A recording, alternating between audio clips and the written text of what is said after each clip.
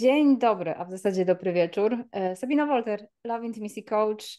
Pomagam Wam w kwestiach związanych z seksualnością, intymnością, relacjami, emocjami wokół tychże aspektów. A dzisiaj e, moim gościem jest Edyta Kwiatkowska-Felicki. Jestem niezwykle szczęśliwa, że Edyta zgodziła się na to spotkanie. Edyta, słuchajcie, e, jest wspaniałą postacią.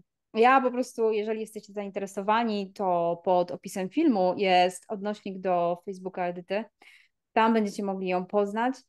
I Edyta jest facilitatorką i trenerem. E, moja droga, przypomnij mi proszę, jak miałam Cię zapowiedzieć, bo ja też... Przywództwa i komunikacji to są takie moje Przywództwo i komunikacja, no właśnie. Bardzo przepraszam, e, ale też no może to trochę te emocje, że teraz tu jesteś, bo nie ukrywam, naprawdę jestem podekscytowana na ten odcinek e, i jestem naprawdę pewna, że wiele z tych historii, które dzisiaj opowiesz, którymi się podzielisz, Twoich spojrzeń i perspektyw, może pomóc niejednej kobiecie tak naprawdę na swojej drodze, która może jeszcze do końca nie wie, jak się pokierować dobrze. E, znaczy, może nawet nie kobiecie, po prostu człowiekowi, bo no, to raczej nie ma podziału na płeć, kiedy szukamy właśnie swojej drogi, swojej wizji życiowej. I ja może zanim e, tak się wkręcimy totalnie w rozmowę, to zadam Ci takie, takie pierwsze pytanie, które będzie po prostu takim jeszcze rozgrzewkowym. Powiedz mi, co musiało się wydarzyć, Edyta, żebyś była tu, gdzie jesteś? Co musiało się stać, żeby ta Edyta stała się Edytą, powiedz? Nie no, to jest szereg różnego rodzaju wydarzeń. To na pewno nie, nie jest jedno wydarzenie. Zresztą e, szybko w kuluarach wspomniałyśmy o tym, że sama jesteś częścią e, mojej podróży mm. e, i twoje sesje są, są częścią mojej podróży. ale tak, gdybym miała znaleźć takie momenty, e, gdzie inni ludzie mieli wpływ na to, co się ze mną działo, e, to na pewno co jest dla mnie takim bardzo pocieszającym momentem, kiedy przychodzą do mnie ludzie z trudnościami, to, to mówię, że jeżeli jest moment, w którym inni ludzie dają ci naprawdę nieźle popalić, to e, najprawdopodobniej zbliżasz się do swojego własnego momentu e, przełomowego, kiedy kupniesz nogą i powiesz, ok, czyli to już nie jest dla mnie, to nie jest przestrzeń dla mnie, towarzystwo, okay. środowisko, szef. No w moim przypadku, jeśli mówimy o życiu zawodowym, no to szef. I dosłownie ta decyzja u mnie zapadła, ona nie była planowana. I też miałam dzisiaj taką przepiękną rozmowę, w której e, padło takie stwierdzenie, że my za wszelką cenę chcemy wiedzieć, e, co będzie dalej, a nie jesteśmy w mm. stanie nigdy wiedzieć, co będzie dalej. Tak. Po prostu możemy, możemy działać, możemy tworzyć, możemy podejmować wyzwania, e, ale nigdy nie będziemy mieć pewności, czy mm, to będzie. Zazwyczaj jest lepiej niż myśleliśmy, że będzie. Tam tak. badania mówią, że nawet chyba 97% przypadków to jest lepiej niż, niż zakładaliśmy, że sobie z czymś poradzimy. Mhm. E, więc dla mnie to na pewno był szef. Mm, człowiek, który po prostu absolutnie nie miał e, za grosz szacunku. E, a żeby oczywiście, że uwielbiałam się układać w takich relacjach, no bo e, no bo życiowo byłam przyzwyczajona, że po prostu wchodzę w relacje, w których nie ma dla mnie szacunku. Jest bardzo łatwo. Fantastycznie się tam odnalazłam w momencie.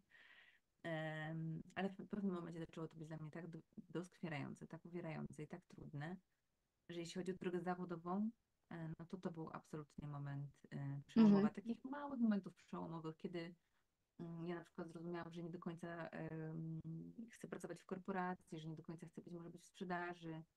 E, no to, to, to było kilka takich różnych momentów, które gdzieś tam się które gdzieś tam wpływały. Mhm. E, a w kontekście tego, e, kim jestem, no to staję się. Nie mogę powiedzieć, że, że, się, że już mm. jestem, tylko staję się, jestem w procesie i kocham ten proces, że, w którym no nawet właśnie e, takie małe rzeczy mnie cieszą, że potrafię coraz zdrowiej postawić swoje własne granice, że mm, świadomość, że wiesz, że, że, że, ja stawiam granice i chronię siebie, nie mhm. zawsze będzie wygodne dla, dla ludzi, którzy są ze mną w różnego rodzaju relacjach. No, tak. Y, ja się będę, wiesz, ja się mogę rozgadać bardzo intensywnie, bo ja godzinę tak o, y, więc postawmy tu na chwilę może przecinek. Jasne, jasne. Ja wiesz co, może Cię dopytam coś, co czuję, że jest też istotne, bo wiele kobiet, z jakimi pracuję, one e, gdy budują swoją karierę albo na przykład wchodzą w jakąś nową relację też, to ten aspekt właśnie siły jest czymś takim, co wymaga bardzo dużej redefinicji w ich wypadku. Myślę, że w wypadku w ogóle każdej osoby, która gdzieś po prostu przechodzi coś, co jest trudne, potrzebuje zredefiniować, co to tak naprawdę jest siła. I w przypadku wielu kobiet, tak jak wspomniałam, z którymi mam tę niewątpliwą przyjemność, to siła kojarzona jest z, takim, z taką umiejętnością noszenia ciężaru. E, I do tego stopnia, że ta umiejętność staje się nawykiem. I wspomniałaś właśnie o tym, że no, miałaś takiego szefa, no bo, bo weszłaś w taką relację, jakby było normalne, że wchodzę w takie relacje, no nie? I jestem ciekawa, Edyta, Twojego spojrzenia na właśnie ten aspekt takiej właśnie siły. Czy czujesz, że to był też ten rodzaj siły, który wpakował Cię w takie coś? I jeśli tak, to jakie to dla Ciebie było i jak z tego przeszło? Jak, jak przez to przeszłaś?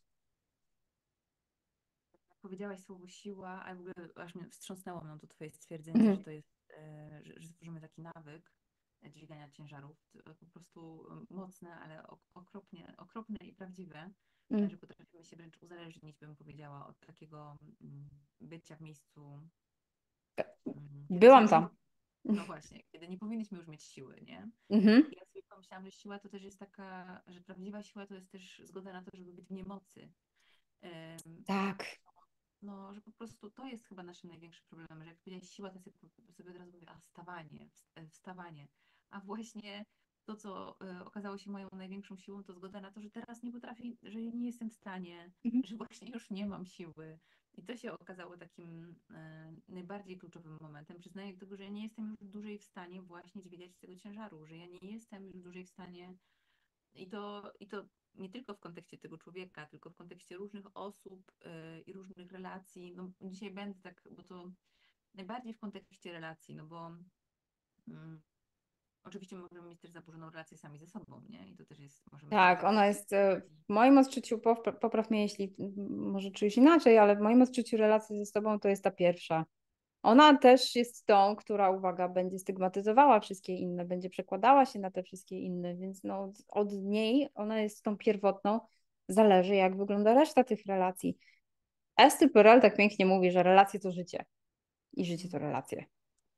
E, że nawet jeżeli nawet jeżeli jesteśmy aż tak bardzo skorzy do odosobnienia i osamotnienia, bo nam to pasuje, czy tam lubimy to i w ogóle, to i tak potrzebujemy relacji do tego, żeby ich nie potrzebować.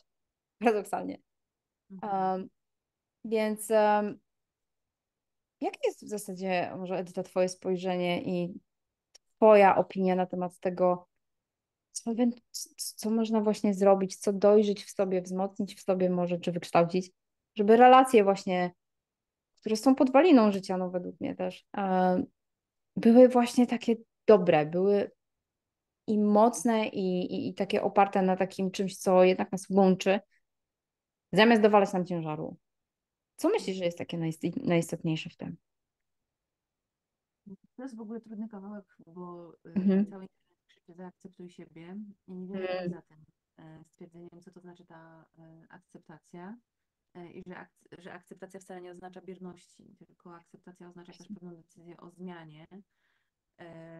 My mówimy zaakceptuj siebie i ktoś mówi, czyli y, akceptuję stan y, obecny i, no i zostajemy w punkcie na przykład, który jest absolutnie... Oj, cieszę się, że to poruszasz. Cieszę się, że to poruszasz. Aż nie mogę się doczekać, co teraz powiesz dalej.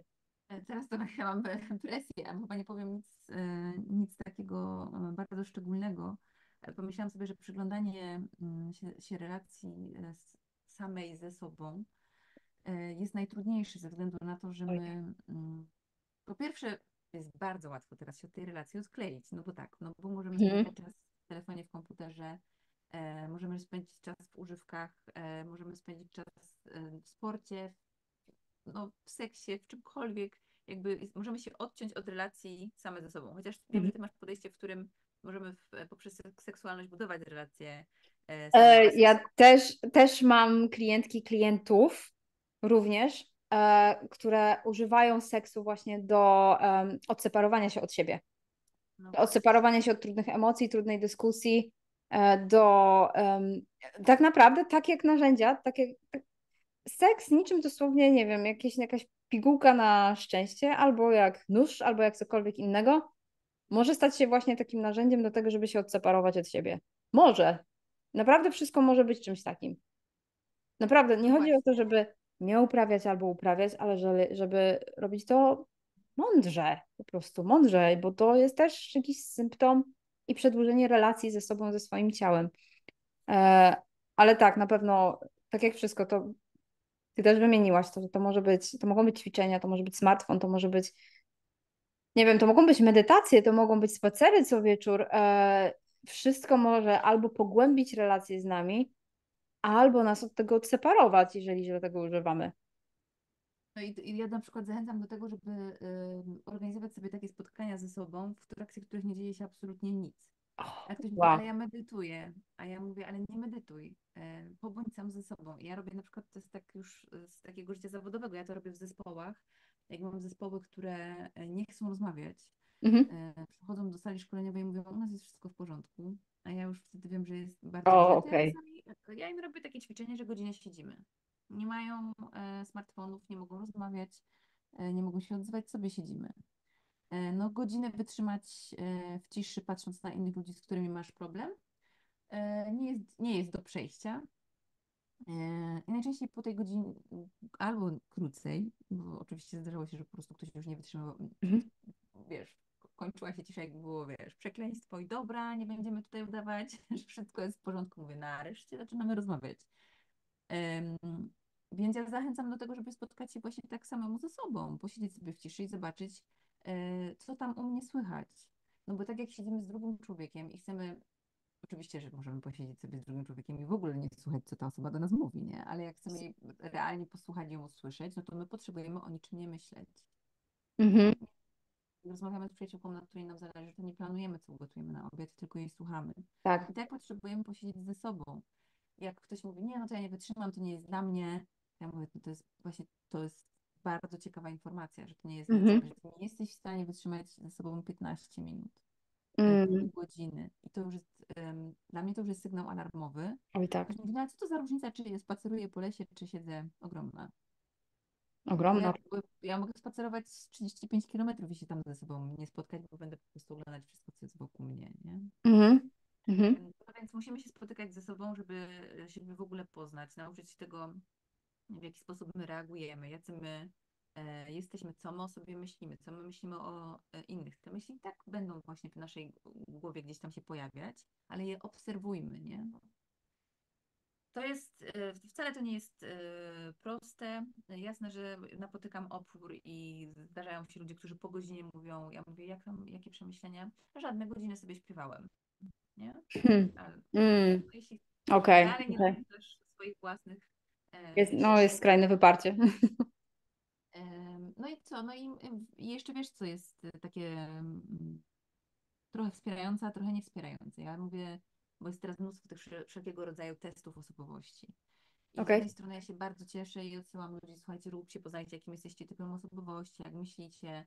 E, Wszystkie kobiety, które tam ze mną współpracują, te testy robią i, i ja bardzo lubię, jak e, nasi klienci z tego korzystają. Ale Mhm. to też nie powinno stać się wymówką dla ciebie do tego, że jeżeli Tak. jesteś wizjonerem, to teraz masz prawo marzyć i nie masz, e, nie nadajesz się do budowania relacji, nie?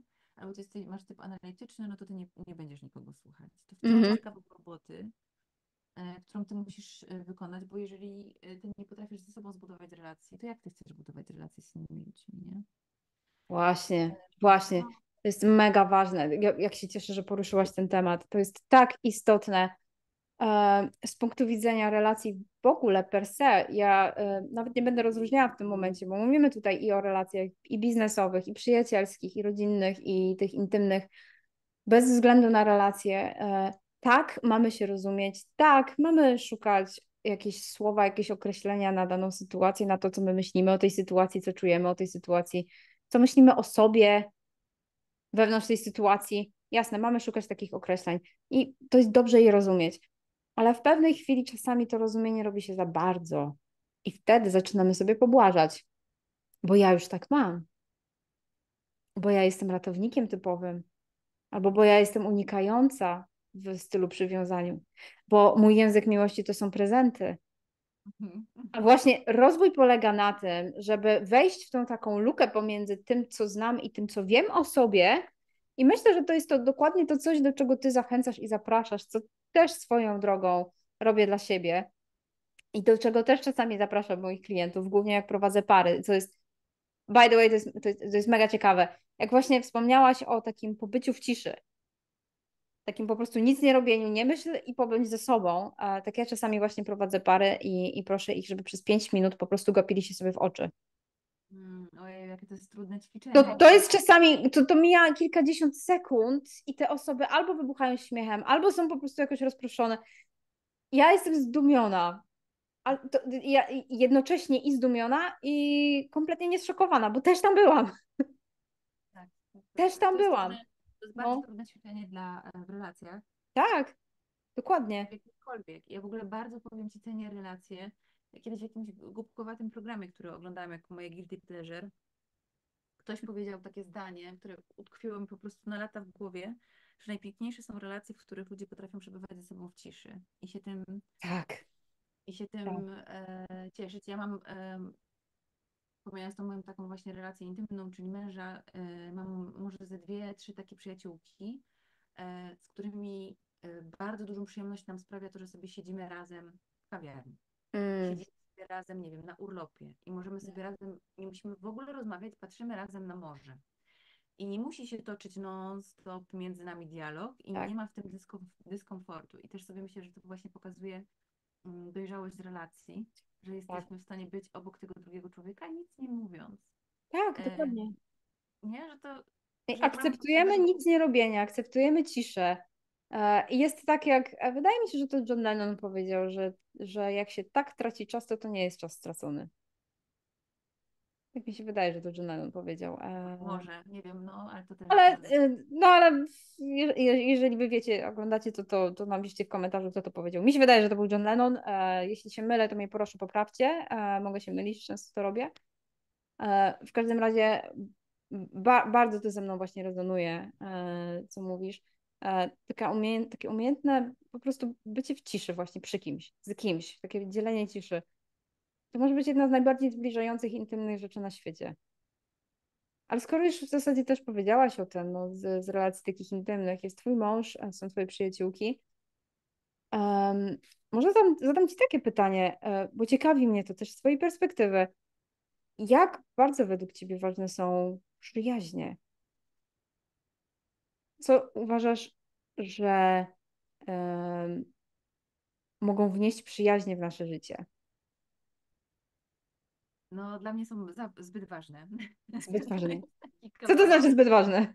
No, y, to jest taki ciekawy kawałek w moim życiu, to zabawne, że go y, akurat dotykasz. Hmm.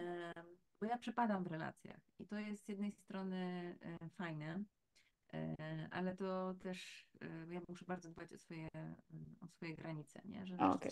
potrafię być w relacjach, mm, które są po prostu absolutnie nierówne, nie? I to jak rozmawiałyśmy też odnośnie tego e, bycia ze sobą i poznania siebie, to pomyślałam sobie, kurczę, jest też ten taki kawałek, kiedy tak bardzo ktoś chce poznać siebie, że staje się narcyzem i przestaje już widzieć w ogóle kogokolwiek poza, poza sobą samym. E, ja, dla mnie relacje, ja nie żyję bez ludzi. W sensie takim, że ja mm. nie potrafię pracować bez ludzi, ja muszę mieć ludzi, z którymi się spotkam, żeby porozmawiać. Ja mówię o tym, że dla mnie myślenie zaczyna się w momencie, w którym ja wypowiadam słowa. Czyli jak mm. pro, projekt, i to mówię tak typowo już zawodowo, ale też właśnie uważam, że jeżeli nie mamy w swoim życiu takiej osoby, e, do której my możemy mówić, która to jest tak, bądź do swojej przyjaciółki, e, mówisz do niej przez godzinę, ona ciebie słucha, E, a ty mówisz, Boże, bardzo Ci dziękuję, już wszystko wiem, już wiem, co mam zrobić, a ja więcej powiedziałam. A ty mówisz, ach, no nieważne, ale to właśnie o to mi chodziło, nie? I, i to jest też, um, ja kocham właśnie taki, takie relacje, w których mogę zadzwonić i mogę powiedzieć wszystko, nie będę oceniona, um, albo wręcz przeciwnie, mamy no takie tam, mamy taką przyjaciółkę, z którą się przyjaźnimy 30 lat, to wiem, że mi powie, o, zwariowałaś, E, to by już odbiło totalnie, że ty mówisz coś takiego, a ty nie masz dosyć bycia takim, się ostatnio mówi, że jestem najlepszym people pleaserem na świecie, nie? Dobra, spadaj, nie?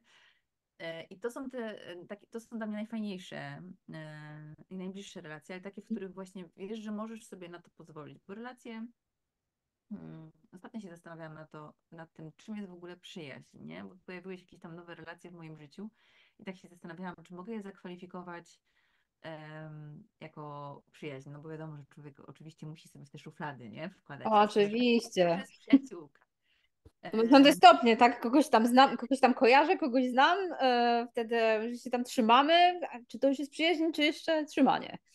No właśnie, nie? W ogóle jest, zabawne to jest. No i miałam taką rozkminę i pomyślałam sobie, że przyjaźń jest wtedy, mm, kiedy czujemy się przez kogoś po prostu yy, wysłuchani regularnie, wtedy, kiedy po prostu tego potrzebujemy. I wiadomo, że nie, że jeśli ktoś nas raz wysłuchał, ale jeżeli ktoś nas wysłuchał 30 razy e, i jest, nie wiem, nawet, nie wiem, krótko, ale po prostu wiemy, że ta osoba mm, jest dla nas e, i że my mhm. jesteśmy dla niej, to myślę, że to wtedy zaczynamy mówić e, o przyjaźni. I też ja myślę, że to się tak nam e, trochę z dzieciństwa zostało, że przyjaciółka to był ktoś, kto był przy nas długo, nie? I to jest tak. też takie, wiesz, to ja, ja też byłam 11 lat w relacji, e, która była po prostu, jak sobie dzisiaj na to patrzę, no to tam, tam może coś fajnego też przeżyliśmy we dwoje, bo też bym nie chciała tam źle mówić o moim ex, ale absolutnie nie byliśmy w żadnej przyjaźni, że nie byliśmy w żadnej bliskiej relacji. Po mhm. prostu byliśmy ze sobą długo.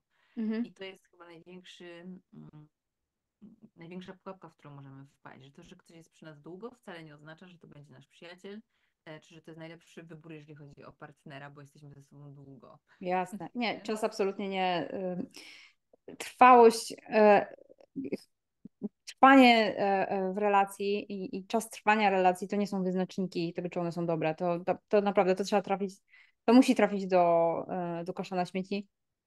Bo to jest coś, co w moim odczuciu też bardzo, bardzo toksycznie wpływa na relacje. Czasami, i to często obserwuję w, kobietach, z którymi e, pracuję, kobietach, które już powychodziły właśnie z wieloletnich związków, zaczynają otwierać się na inne. One w tych związkach były ze względu na to, że bo my już jesteśmy ze sobą tyle lat, albo mamy ze sobą kredyt, mamy hipotekę, mamy dzieci, mamy zobowiązania, mamy coś tam, ale się nie lubimy. I czy to, jest czy to jest rzeczywiście sukces, jeśli ktoś wytrzymał ze sobą 50 lat i po prostu się nie pozabijali? To nie jest sukces według mnie, to jest, e, to jest ta siła toksyczna. Według mnie to jest, to, to jest totalnie to. Jest coś bardzo pięknego, co właśnie wspomniałaś na temat przyjaźni, bo w moim odczuciu, już tak też pozwolę sobie się podzielić, bo to są takie też moje ostatnie właśnie um, bardzo ciekawe przemyślenia. Przyjaźń jest jedną z tych najmniej docenianych rodzajów miłości. Wydaje mi się najmniej marketingowa, o ile tę romantyczną, to się świetnie sprzedaje, bo e, rynek organizowania wesel, e, sprzedawania tych pierścionków e, ślubnych, tych sukien, smokingów, tych, tych, tych po prostu imprez, tego, tej całej otoczki. Ludzie się tak zadłużają czasami tylko po to, żeby wyprawić wesele. Właśnie ze względu na ten niezwykle prężnie działający marketing wokół miłości romantycznej, którą jeszcze zasila Hollywood i niestety w cieniu Hollywood pornografia to jest ogromne i to jest okropne. E, cała jakby taka uwaga idzie właśnie tam. Podczas gdy przyjaźń jest tym takim czymś, co jest jakieś takie. Mam na to czas. Jakby. Albo no jakichś tam znajomych miałam, albo wydaje mi się, że kogoś mam, ale jak pytam czasami rzeczywiście ludzi, z którymi pracuję, czy masz przyjaciela, czy masz przyjaciółkę, czy jest taka osoba, której możesz powiedzieć naprawdę o sobie wszystko i wiesz, że jeżeli już coś oceni w tobie, to tylko jakiś twój wybór albo zachowanie i czujesz się przy tej osobie bezpiecznie. Że jak opowiadasz o swoim sukcesie, to ona głośno klaszcze. Że jak opowiadasz o jakiejś swojej porażce, to mówi stary albo stara, jestem przy tobie. Czy masz taką osobę? I często ci ludzie bardzo smutnie mówią, e, nie, nie mam nikogo takiego. Nie mam. I, to, I to jest potworne. E, a najbardziej mnie przeraża to, że e, ludzie mm, mają takie założenie, że nie potrzebują przyjaciół. Że, bo mają, wiesz, bo, bo mają rodzinę, nie? I my tak o. taki dowcip, który jest żenujący i on jest smutny tak naprawdę strasznie, ale mówimy o tym, że no kurde, najprawdopodobniej jeśli potoczą się nasze losy tak, jak się toczą w większości kobiet, zostaniemy bez naszych partnerów, nie? No bo niestety mężczyźni często umierają pierwsi, tak, nie? Tak. Nie chciałabym tego, ale z kim, jeśli ja nie będę miała moich przyjaciółek od serca, e, to z kim ja zostanę w moim życiu? Zostanę po prostu kompletnie sama. Ludzie mówią, ale dzieci cię odwiedzą. No prawda, nie wiesz, czy twoje dzieci cię odwiedzą. Oczywiście. E, totalnie. Świata, mogą przyjeżdżać raz do roku do kraju. Nie masz żadnego pojęcia, czy cię odwiedzą. E, tak to teraz wygląda najczęściej zresztą. Ja też pracuję, ogromne grono e, kobiet, z którymi pracuję, to są kobiety 65+, plus, to są kobiety, które mają kilkoro dzieci i uwaga, uwaga, e, żadna z nich, a to są, to, są, to są już setki kobiet, z którymi pracowałam, żadna z nich z żadnym swoim dorosłym dzieckiem nie żyje. Żadna z nich swoich dorosłych dzieci nie widzi właśnie częściej niż na święta i ewentualne jakieś tam okazje w ciągu roku. Bo te dzieciaki się wyprowadzają po prostu. No po prostu sobie tam żyją swoim życiem, no i, i to też jest ich prawo i to też jest ok. Natomiast no właśnie to jest dla mnie przerażające, że e, nie ma, e, oczywiście, że to też nie powinno być tak, że się przyjaźnimy po to, żeby sobie zapewnić towarzystwo na, tak. na końcu życia, ale chodzi o to, że nie, nie możemy, jakby ja nie lubię takiego zakładania, nie? że mam, no, no bo gdybym założyła, zresztą wiesz, no już tak rozmawiamy dość, dość, dość intymnie, no to gdybym założyła poprzednim związku, że no przecież mam tego mojego partnera na całe życie, kto mnie ratował, kto był koło mnie, kiedy my się rozstawaliśmy? No wszystkie moje przyjaciółki. Właśnie. To był mój sztab, to był mój sztab, który mnie wspierał, kiedy zostałam po prostu z niczym, e, kiedy poszłam mieszkać do pustego mieszkania, to to, był, to, to były moje e, fajterki, które były obok mnie i po prostu dzwoniły i i przyjaciółek nie zastąpi nic, no tylko wiesz, właśnie powiedzieć o tym ślubie, ja się śmieję, bo my braliśmy w 2023 roku ślub, no czyli jestem tak całkiem na świeżo. I decyzją naszą było to, że to ma być nasz dzień, że nie chcemy, mhm. nie, da, nie, chcemy się poddać tej całej właśnie marketingowej, wariackiej odtorce i wyjechaliśmy, wzięliśmy ślub za granicą i wiesz, ile osób miało do nas pretensje, wiesz, do nas, no bo właśnie jest taki, mm, jest takie ciśnienie na to wszystko. Jest y, takie ciśnienie na to, że, mm, że tak to jest w filmach, że to ma być. O, ale sobie pomyślałam, wolę 45 kaw z moją y, przyjaciółką, niż to, y, żeby stawiać kolację dla setki ludzi, których, których nie znam, nie? Tak. Jakby to jest, wiesz, to, to jest temat rzeka w kontekście, w kontekście relacji. No ale chyba sama, no, nie wiem, czy mm, ja nie mam może takich y, przyjaciół mężczyzn faktycznie, raczej to są mm. babeczki, y, ale to nie jest chyba nawet kwestia tego, że to był mój wybór, tylko tak wyszło. Y, nie wiem, jak to jest u ciebie, ale. No ja mam, ja mam, ja mam trzy takie rzeczywiście bardzo dobre przyjaciółki, dwóch dobrych przyjaciół mężczyzn. I powiem szczerze, czuję się niezwykle bogata dzięki temu. Naprawdę bogata, bo czuję, że mam za sobą moje plemię. Dosłownie. Bo było, nie było, ja nie mogę porozmawiać z moim mężem o wszystkim. On nie może być adresatem wszystkiego tego, co mówię i on nie może być też, e, nie może być obciążony tym wszystkim, co w takich, co w relacjach, jakby teraz oczywiście logujemy w jednej osobie. E, jeszcze tak, nie wiem, no myślę pół wieku temu i to, to, to naprawdę daleko nie jest, e, no od spowiedzi był spowiednik, od e, jakichś napraw to był hydraulik, od e, doradzania w, w czymś tam, no to był jakiś e, doradca. Dzisiaj jakby, kochanie, powiedz mi, a, a może byś zrobił, um, a może, y, a może byśmy tu i tu i, i siam, tu, ten, ten świat się robi coraz węższy i coraz bardziej skupiony na takim lejku poprzez jedną osobę. My nawet nie widzimy czasami, jak bardzo wysokie mamy oczekiwania wobec jednego człowieka i ja też się na tym łapię, też się na tym łapię, że za dużo czasu po prostu spędzamy no, ze sobą tylko.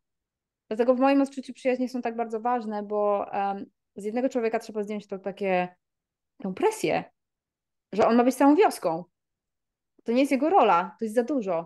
To jest nasza rola, żebyśmy się właśnie gdzieś no, byli tacy sociable, żebyśmy wyszli po prostu też do ludzi i, i otoczyli się swoim plemieniem, bo tak jak wspomniałaś, to jest przykra myśl i bardzo realna.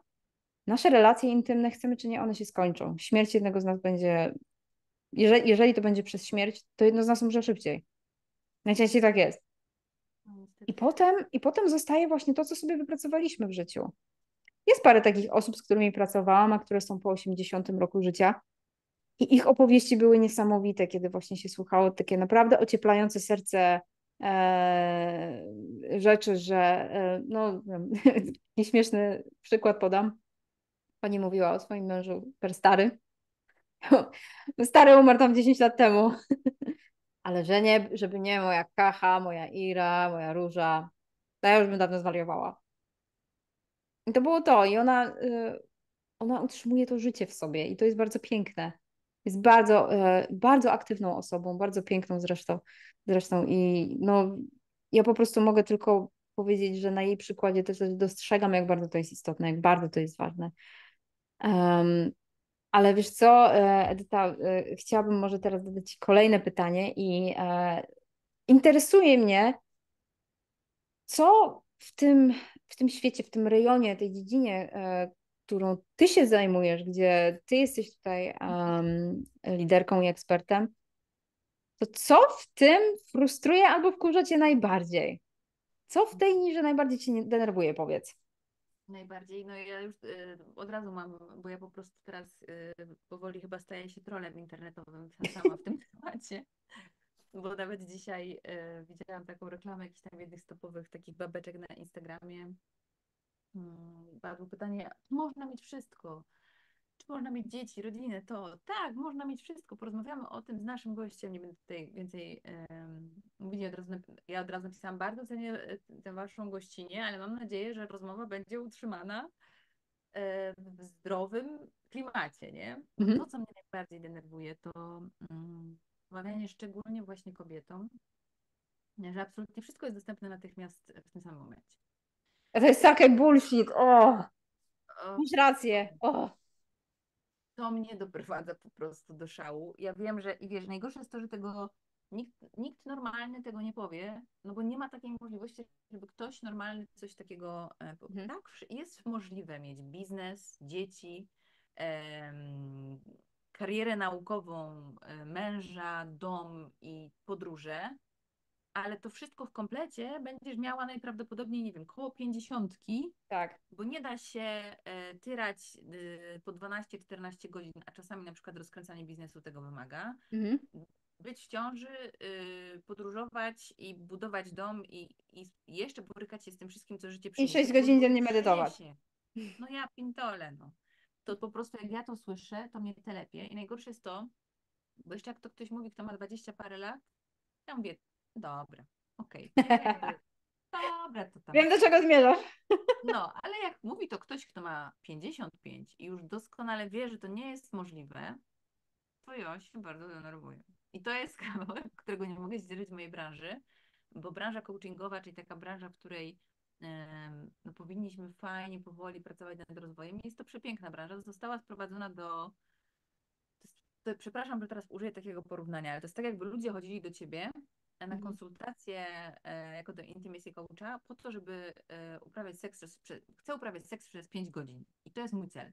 I codziennie chcę uprawiać seks przez 5 godzin. No to, e, to ja nie muszę, wiesz, być ekspertem w tym, czym ty się zajmujesz, żeby powiedzieć, to chyba nie jest najlepszy cel. Nie? Jakby to, mhm. nie chyba to powinno mhm. być celem.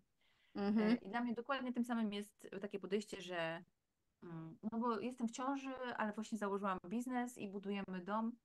Boże, ale po drodze będą się działy różne rzeczy, właśnie ktoś umrze, pies ci umrze, e, kotek ci e, zachoruje, wyrzucą twojego męża z pracy, no ale trzeba myśleć pozytywnie. O, tak, mm. najważniejsze jest to, żeby myśleć cały czas pozytywnie i w ogóle być oderwanym od emocji, od siebie, od rzeczywistości, po prostu i żyć w bullshicie. No, więc yy, wiesz co, to jest, już zaraz zacznę przeklinać i się skończy ta rozmowa, bo to jest, to mnie naprawdę mega irytuje bo, no bo zresztą sama, sama wiesz, no znasz trochę też moją historię, no, mhm. no tak, no fajne mam życie, mieszkam w fajnym domu i mam bardzo fajną pracę, ale jak wpadłam w depresję, to nic nie było w stanie, e, ani wschodzące słońce, ani mój fantastyczny mąż, ani, ani nic yes. innego nie było w stanie mnie z tego e, tak po prostu wyciągnąć. I nie ma się co łudzić, że będzie wszystko cały czas e, dobrze, bo życie to są kolejne zmagania i Oczywiście. nie jesteśmy nawet w stanie wymyślić, co nas e, może spotkać. Nie, to nie znaczy, że mamy myśleć katastrofizacyjnie,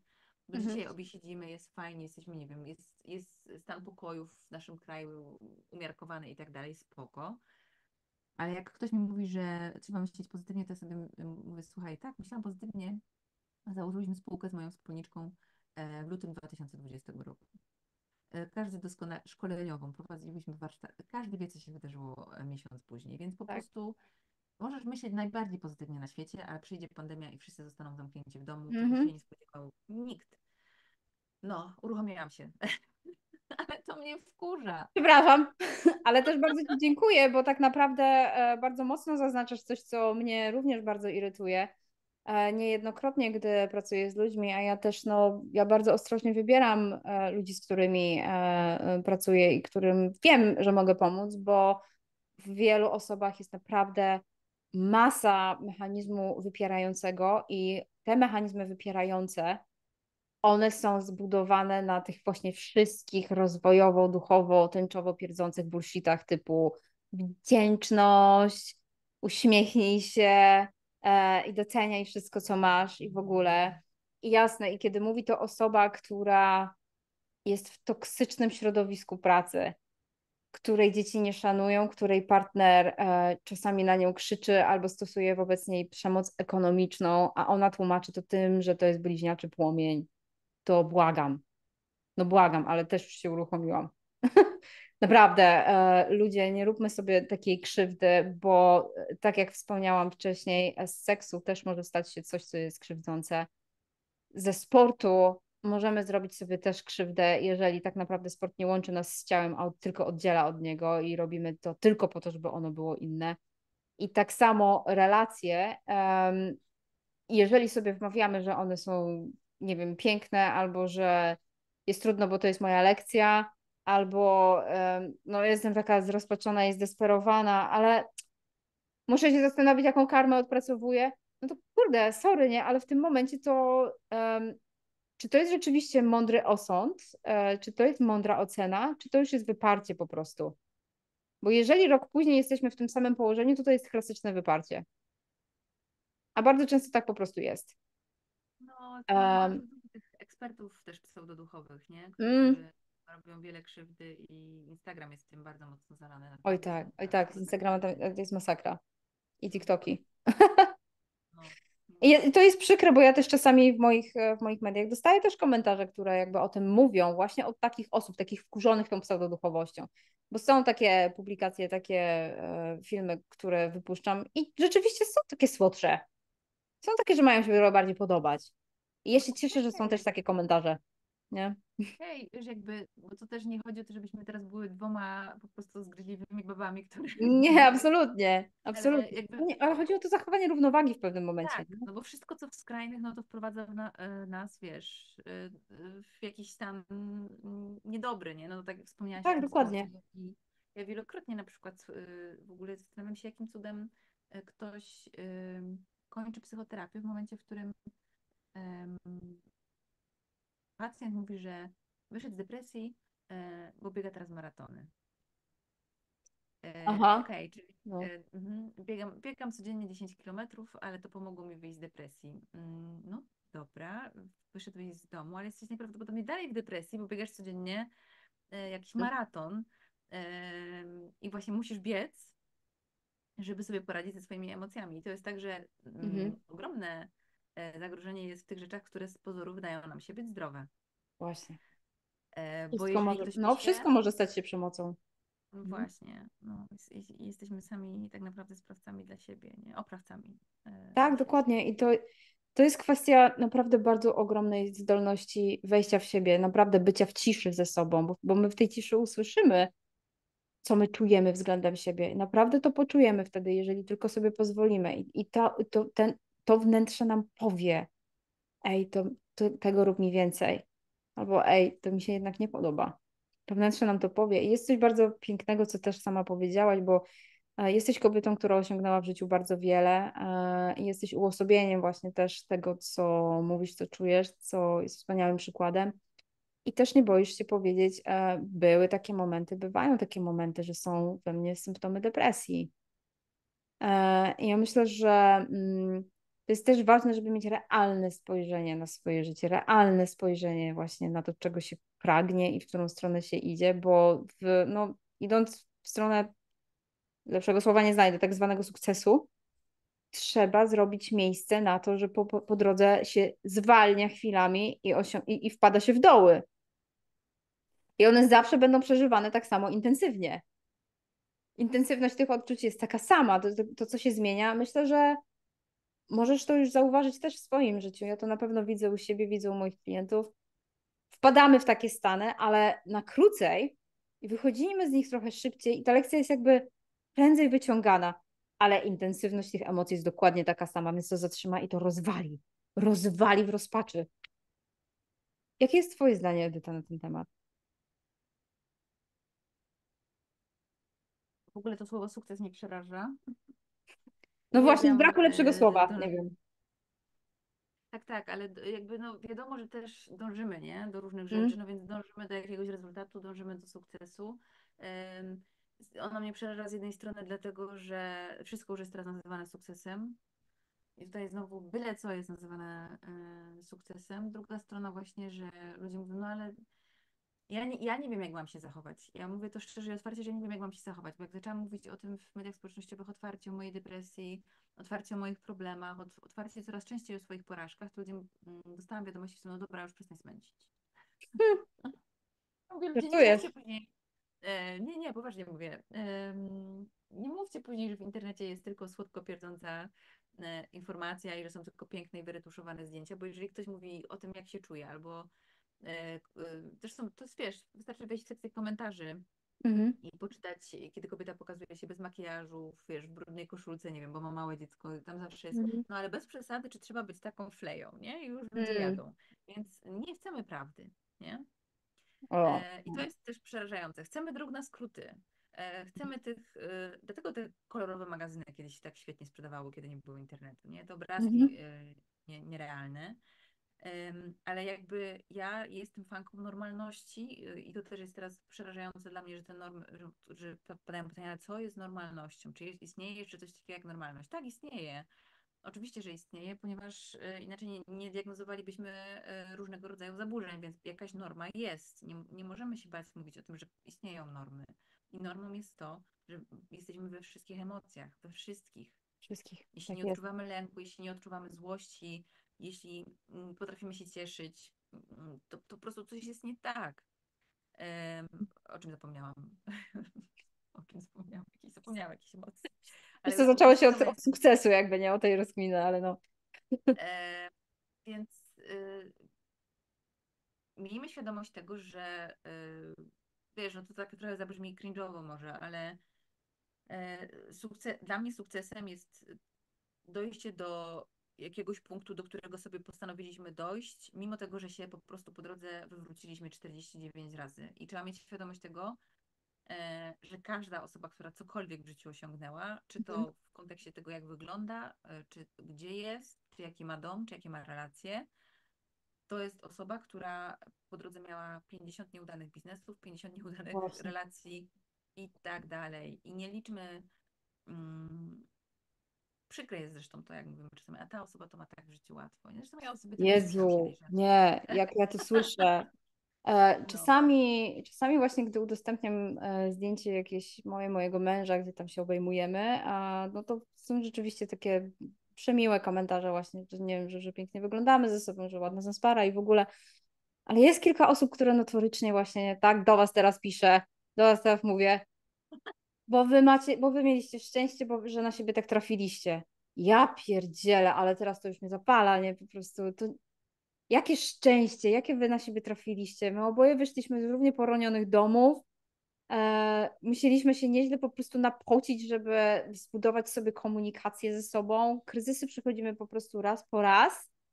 I to jest tylko i wyłącznie nasz wybór, że ciągle się wybieramy, bo, bo jest między nami ta miłość i chęć, żeby być ze sobą i budować coś dalej. I dalej mieć w sobie ten właśnie próg tolerancji na to, że przewracamy się więcej niż podnosimy. I tylko, i tylko, i aż tyle właśnie. Um, kiedyś mój, e, mój siostrzeniec pokazał mi taki, e, takie krótkie wideo na TikToku, on tam przeglądał sobie, nie wiem, ktoś tam jakieś akrobacje robił na rowerze. Pokazał mi ten film, no i rzeczywiście chłopak robił po prostu cudawianki na tym rowerze, nie? Ja po prostu wow. I moją pierwszą myślą po trzech sekundach oglądania tego wideo to jest ciekawe, czy on już ma poskładany szkielet z tytanu.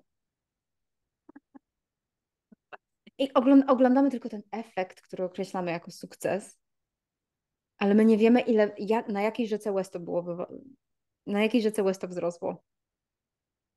E, co się przyczyniło do tego, że ta osoba na pewno no, ona popełniła mi miliardy porażek, bo tylko tak można się czegoś nauczyć. E, a my widzimy jakiś właśnie efekt i tego właśnie chcemy, więc życzymy sobie sukcesu i szczęścia, co według mnie też jest bardzo takie toksyczne. E, bo czemu nie życzymy sobie na przykład bycia w doświadczeniu? Bycia w pełnej obecności wewnątrz doświadczenia. Bo my w ogóle nie chcemy być w żadnym Tak, doświadczeniu. Chcemy, bo doświadczenie czasami cholernie boli. I to nie jest okej. Ja nie, ja nie do końca zrozumieć, skąd to się wzięło, bo to, mm, to jest tak, jakbyśmy wszyscy, mimo tego, że nie znam ani jednej osoby, która by się nie zmagała z czymś, nie? Jakby każdy, każdy mój przyjaciel, przyjaciółka, znajomy z czymś się zmaga, nie? Każdy ma jakiś rodzaj problemów na co dzień. A wciąż, tak jakbyśmy wszyscy dążyli do takiego e, mm, tygodnia, miesiąca, w którym nie będzie problemów. Mhm. Jakbyśmy usilni po prostu jak wariaci przyjrzyj się temu, co się dzisiaj dzieje. Właśnie. Czy cię spotka... jak sobie poradziłeś z tymi trudnościami? Mhm. Jak zara... Czy udało ci się, dla mnie numer jeden, czy udało ci się na przykład zareagować lepiej? Nie? Bo to jest dla mnie symbol mhm. rozwoju osobistego że ja nie reaguję już tak bardzo na przykład agresywnie na coś, tak. co mnie zdenerwuje. I to jest mój rozwój. Jeżeli ja już taki zrobiłam e, postęp w swoim życiu, to już jestem bliżej tego um, szczęścia, za którym to my tak wszyscy um, mhm. gonimy. No i potem tak. właśnie dlatego, ale słuchaj, stąd się biorą te frazesy um, i te hasła w internetach typu szczęście jest tu i teraz i mhm. bądź wdzięczny, no bo w opozycji Mm, do tego ludzie próbują zaserwować coś innego. No i wiesz, popadamy znowu z e, jakiejś skrajnej, skrajnego polskiego malkontentstwa e, do jakiegoś przywiezionego prosto z Bali. Ja się nie dziwię, bo byłam na Bali. Ja się nie dziwię, że ludzie przyjeżdżają stamtąd tacy.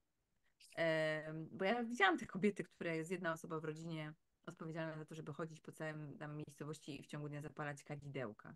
I jasne, że jak my się tego naoglądamy, co nam się wydaje, że to jest, wiesz, jakby najbardziej spokojna rzecz, która się może mhm. e, wydarzyć, nie? Ale już tam nikt nie mówi o tym, że tam, nie wiem, czasami półtora roku muszą poczekać, żeby czyjeś zwłoki pochować, bo coś tam, nie? Bo niestety mhm. na odpowiedź, wiesz, jakby my wybieramy jakieś najsłodsze e, fragmenty z urlopów, z sytuacji, z miejsc tak. i chcemy tak żyć cały czas. No, Właśnie. Właśnie. Ale no, sorry, ale to co, to gdzie uwagi właśnie nie, nie damy, tam gdzie obecności swojej nie włożymy, to będzie nas potem goniło. To będzie goniło. Ja nie zapomnę po prostu jednej pracy mojej z takim e, pewnym panem, który zwrócił się do mnie po, e, po tym, jak trzy lata wcześniej umarła jego żona i on już jakby poznał kogoś, chciał się otworzyć na tę relację, ale wciąż ją opłakiwał. Żona zmarła na raka i on Pamiętam, że on właśnie mówił, że on, jak ona jeszcze żyła, że ona strasznie go wkurzała, że ona tak, on mówił, że ona krakała zamiast śpiewać, że ona tak krakała pod nosem właśnie, jak coś tam robiła w domu, że wszystko doprawiała chili, on tego chili po prostu nie znosił, e, że jak tam była w łazience, to po prostu no, tak waliła tą szczoteczką tymi rzeczami, że po prostu on miał aż trzaski po prostu w uszach i mówi, ile ja bym dał, żeby teraz po prostu kaszleć przez to chili. Słuchać tego krakania. Słuchać tego właśnie walenia w tych, po tych kaflach w tej łazience. Ile ja bym za to, ja, ja bym wszystko oddał za to. Dlaczego? Bo nie byłem wtedy obecny przy tym. To wypierałem.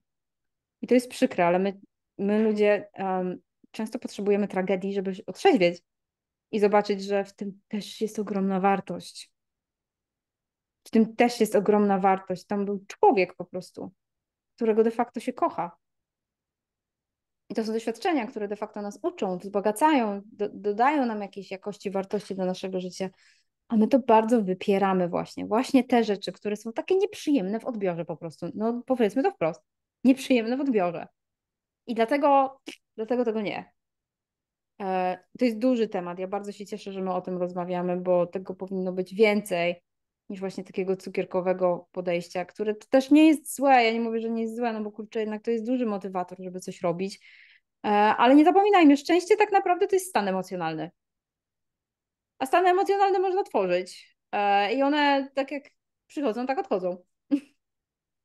Nie to może po prostu przyjść i może, może sobie pójść. I nie ma.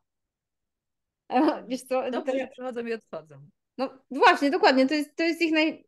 To jest ich zarówno, to jest ten paradoks, to jest ich najwspanialsza zaleta i najgorsza wala. Na raz.